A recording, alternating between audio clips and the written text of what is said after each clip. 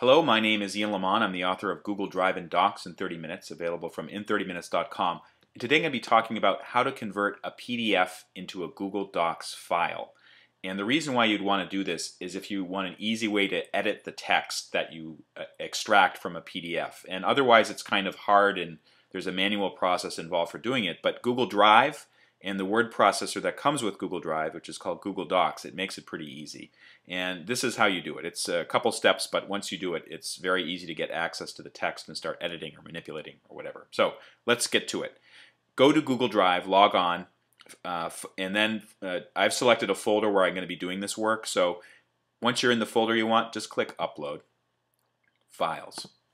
What this means is it's going to upload a file that's on your hard drive and then uh, turn it into something into a Google Docs file. So the file that I'm looking for is called case questions. See if I can find that. Case questions marketing, that's the one. And one thing I should say about this PDF is it's mostly, it's a text one.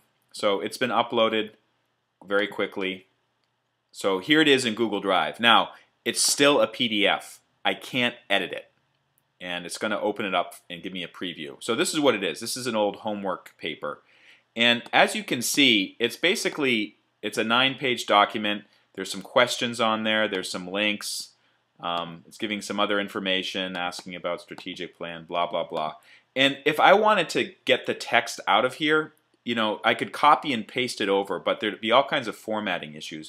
What I'd rather do is actually just get a Google Docs version of it. Then I can manipulate it right in Google Drive. So here's what it looks like, the PDF. Okay, I think you got the idea there. Now, I want to convert it to Google Docs. This is how. Select the checkbox next to it, go to More, Open with Google Docs. So it's going to take a little bit as it's converting. You can see the little uh, spinner going. But after a couple seconds, it will open up as a Google Docs file. And the great thing about this is it means you can start to make changes to it. So here we are, still opening up. Okay, so here's the file. And what it does is it converts the PD, it takes the PDF, it turns the pages into image files. So there's the original image file. But then below it, if you scroll down, here's the text.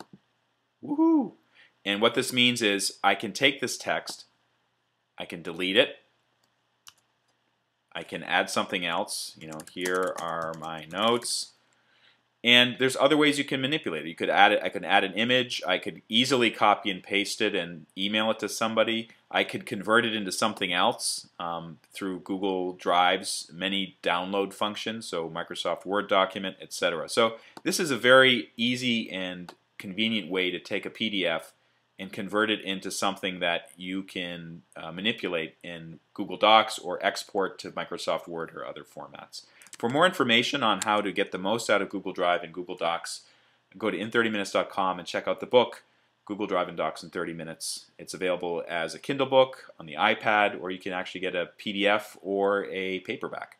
So more information in 30minutes.com. Thanks very much.